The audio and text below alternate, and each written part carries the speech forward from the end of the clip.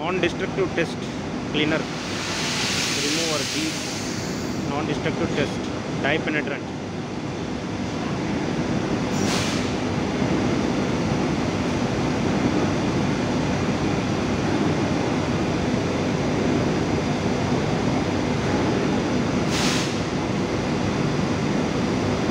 Dye penetrant is used after cleaning the girth gear to find out the crack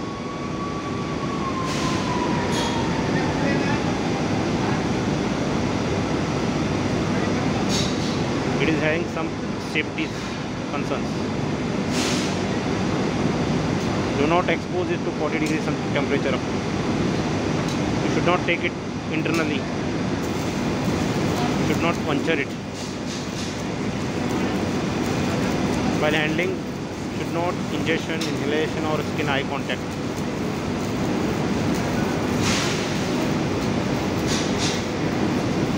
It is non toxic